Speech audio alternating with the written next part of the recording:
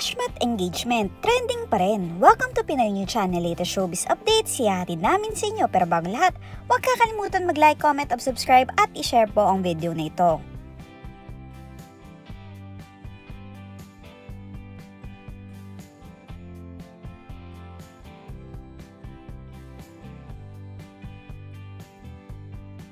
Still on a high pa rin nga ang buong social media sa pagkaka-announce ni Mateo ng engagement nila ni Sarah.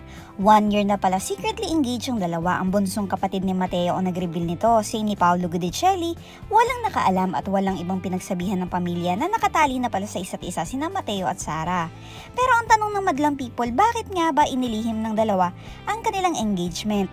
Madami rin kasing fans ni Sarah G at Mateo ang nagtampo dahil ilang beses itong itinanong sa kanila at ang klarong sagot nila ay hindi pa sila engaged, but the truth is, they were.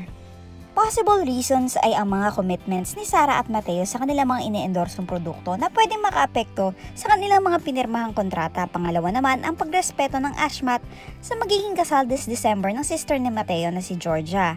Hinayaan muna nila ang spotlight sa soon-to-be wed sister ni Mateo. Pangatlo naman, pinilit muna tapusin ni Mateo ang kanyang mga commitment sa pagsusundalo. Sa part naman ni Sarah, tinapos din muna nito ang kanyang mga series of concerts at pelikulang Unforgettable. Many possible and valid reasons naman meron ng Ashmat kung bakit kinailangan nila ilihim muna ang kanilang engagement.